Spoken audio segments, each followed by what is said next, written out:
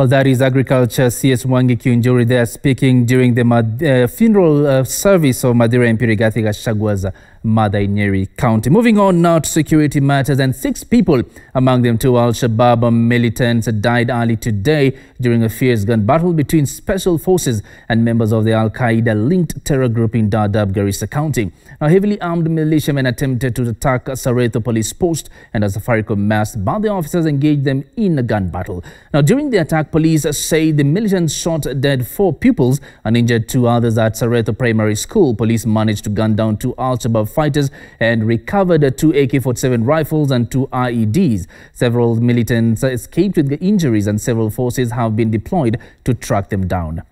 Police have identified Maulid Bilal as the ringleader of the Al-Shabaab militants behind attacks in Fafi and Hulugho in Garissa County. Now, according to police, Bilal hails from Hulugho and uh, before joining the Al-Shabaab terror group was a madrasa teacher at uh, Tumtish and uh, Garabay where he is reported to have recruited some of his students into the Al-Shabaab. The attack comes two days after the Al-Shabaab fighters attacked Manda airstrip where eight people, among them five militants, died.